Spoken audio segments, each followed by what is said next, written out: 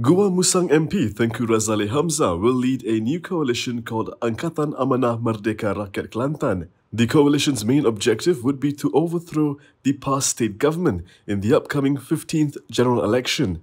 This was revealed by Kelantan Amanah Deputy Chairperson Che Ibrahim Mohamed on Thursday. The coalition's first program will take place on May 7th. Malaysia previously reported that the UMNO veteran had collaborated with the Pakatan Harapan Allied Party to capture Kelantan in GE15. Malaysia understands that the collaboration will involve Amanah, DAP and Pejuang as well as NGOs. Meanwhile, Ketereh MP Annuar Musa described Ku Li's action as being conducted in a personal capacity and had nothing to do with UMNO.